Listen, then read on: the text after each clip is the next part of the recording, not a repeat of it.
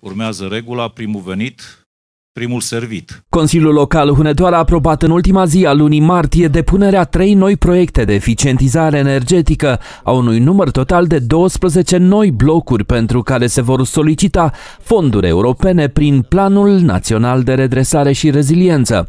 Primul proiect are o valoare totală de 20,5 milioane lei și vizează 8 clădiri rezidențiale din zona pietonalei Corvin. Al doilea proiect are o valoare totală de 17,1 milioane lei și a fost întocmit pentru eficientizarea energetică a două blocuri de pe Bulevardul Mihai Viteazul. Cel de-al treilea proiect se referă la eficientizarea energetică a altor două blocuri de pe strada Trandafirilor, acesta având o valoare totală de aproape 10 milioane de lei. Proiectele vor fi depuse în procedură online în prima zi a lunii aprilie. Finanțările se vor acorda după principiul primul venit, primul servit.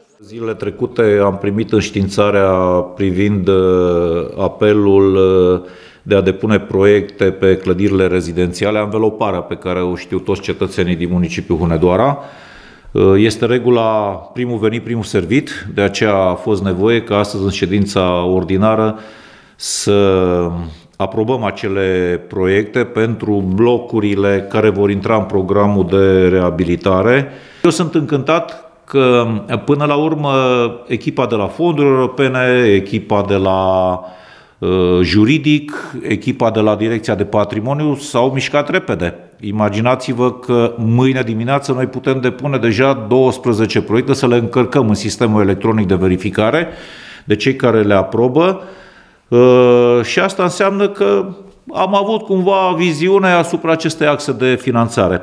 Este vorba despre blocurile de pe strada Trandafirilor 24 și 35, sunt două turnuri care n-au fost uh, cuprinse uh, în uh, proiectele vechi, deoarece cetățenii nu și-au dorit atunci să acceseze fonduri europene pentru reabilitare. Un alt uh, proiect se referă la blocurile de pe Bulevardul Mihai Viteazu B4 și B5 și aici sunt 5 blocuri turn aceste două n-au fost prinse în uh, primul uh, proiect, deoarece n-am avut solicitări, de această dată avem solicitări. Am participat la numărate discuții la Asociația Municipiilor din România privind uh, posibilitatea de a accesa din nou bani europeni pentru aceste reabilitări.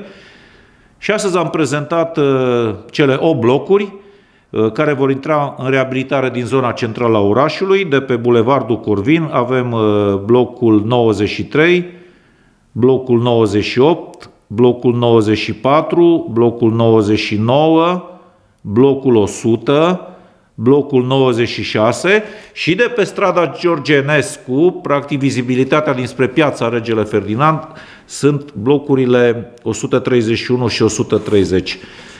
Este un lucru foarte bun din punctul meu de vedere că am reușit să adoptăm această hotărâre de Consiliu Local, avem expertiza tehnică, avem auditul energetic, avem uh, documentul de avizare a lucrărilor de intervenție și nu rămâne decât să fim printre primii care depunem. La ora actuală, în municipiul Hunedoara sunt în derulare două proiecte de eficientizare energetică, în care sunt vizate 14 blocuri turn, în valoare totală de peste 7 milioane de euro. Aceste proiecte au fost întocmite în perioada 2017-2018